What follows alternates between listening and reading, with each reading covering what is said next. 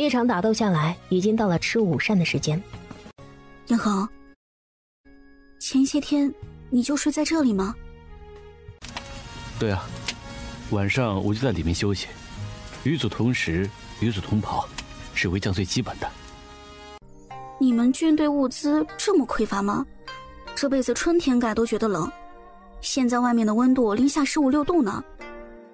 严恒从帅案上拿出两个文牍递给席然，让席然看看。有人贪污，这可真是让人兴奋啊！有几个关键的人，只是证据还不足。哪来的要军匪？我去会会他。当我不识数吗？这点小事，怎么还用你出马呢？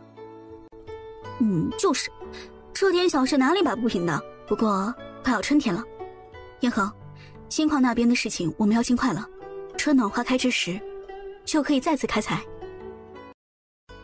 安卫那边已经传来消息，知府的证据已经拿到，只是解救那些少女有点难度啊，男人根本进不去。当年安卫营里。没有女孩子。天恒，你看我行吗？不行，太危险了。如果我真进去了，他们才危险呢。官吏女子的肯定大多数都是女人。现在距离春暖花开之时还有一段时间，希望你要教会我足够的保命技能呀。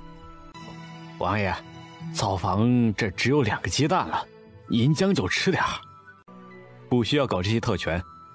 士兵吃什么，我们就吃什么，不需要军中出钱，你出去吧。等等，拿着，就当我跟你们买的鸡蛋。哎，谢谢王妃。快来吃饭吧。嗯，好吃。一会儿我们去山上，把小家伙们偷渡出来。天恒，我们从庄子那边上去。上次我打听过，前年出现过狼群，后来被驱赶到了深山中。而且野猪也会时常来祸害庄稼。好，我们再往里面走走，这里看起来不像是有狼的样子。这是狍子还是鹿的脚印啊？应该是狍子，狍子的体型小，鹿比狍子要大一些。走吧，再往里面看一看。来都来了一次，就逛逛。拿着，我偷渡来的，没有人发现哦。哎，那边，哇！叶恒，你太厉害了！啊，王王爷还真是楚王妃啊！是是啊，是，就就是这山里太冷了呀。哎哎，啥时候我们王爷这么爱笑了呀？你说，咱们王妃是不是命里带火呀？把咱们王府烧得红红火火，连王爷都跟着改变了。天恒，暗霜他们跟着呢吧？嗯。在远处跟着呢，怎么了？这样就有人帮忙当立功了。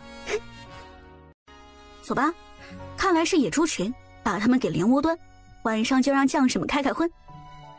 好，都听你的，我的王妃。你你你靠那么近干嘛？哎，等等我！接住我！你故意在吓唬我吗？严恒抱着席然，周围的空气中再次弥漫粉色的泡泡，空气变得粘稠，好像有哪里不对。